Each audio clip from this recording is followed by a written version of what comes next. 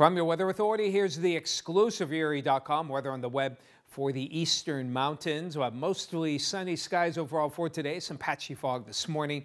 Afternoon highs in the lower to mid 60s. For tonight, a little breezy, but not too cool. Patchy clouds and lows in the lower 50s. From your Weather Authority, we'll have some possible late day showers tomorrow.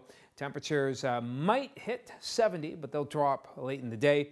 Chilly with some lake effect showers on Friday.